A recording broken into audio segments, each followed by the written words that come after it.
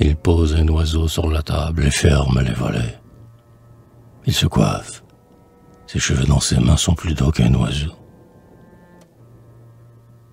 Elle dit l'avenir, et je suis chargé de le vérifier.